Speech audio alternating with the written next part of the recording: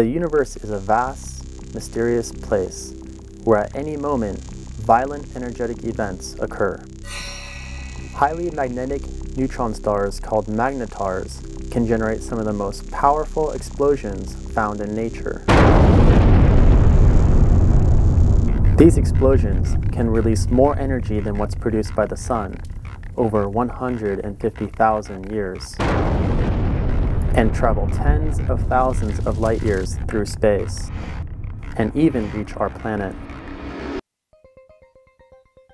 In December 2004, a giant flare caused by the decay of a magnetar's massive magnetic field released powerful X-rays that momentarily lit up the Earth's atmosphere. Since the first magnetar was detected in 1979, fewer than 20 have been discovered, though hundreds of thousands are believed to exist in our galaxy. Here at the NSCL at Michigan State University, nuclear physicist Andrew Steiner analyzes the X-rays emitted during giant flare events to discover clues about a magnetar's composition.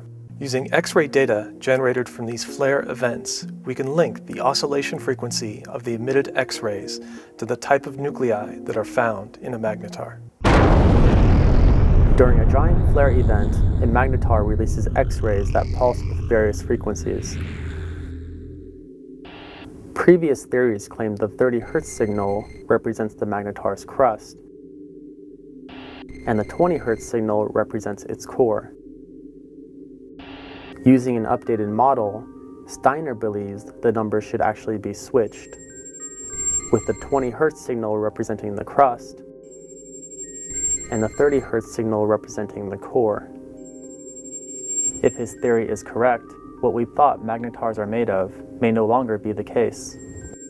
We would expect magnetars to be made of different nuclei than originally thought, with fewer protons in the nuclei that form the crust. The finding can be used to develop equation of state functions that basically describe how pressure and density behave under extreme conditions, which can tell us more about the nuclear properties of stellar phenomena. Joining us by phone to comment is astrophysicist James Lattimer of Stony Brook University. This kind of information is really important in many other aspects of astrophysics. For example, in looking at supernova explosions, uh, gravitational collapse of massive stars, and then, of course, there's feedback toward trying to understand heavy ion collisions as well.